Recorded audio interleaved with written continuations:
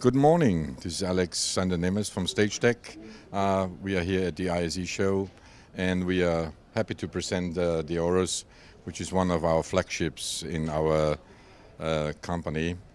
And uh, as you can see, it's a very flexible and uh, direct access console where you can access the most functions directly in each channel by touching the knobs, you see the response in the screen and uh, you're accessing the limiter or compression, expander gate or auxiliaries. And then you have rotaries uh, for the EQ, lower down the gain, the panning, and of course the fader with all its functionalities.